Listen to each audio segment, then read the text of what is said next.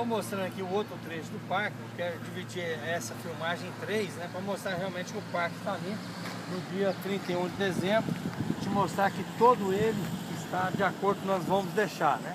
Esperamos e vamos torcer para que o próximo é, administrador da FUTEL, que é o vereador Zezinho, possa dar prosseguimento ao meu trabalho, que é um trabalho realmente de equipe, né.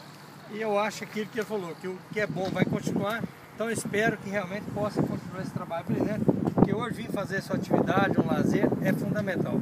E o parque hoje, graças a Deus, está realmente limpo e vamos entregar para que possa realmente o próximo administrador continuar.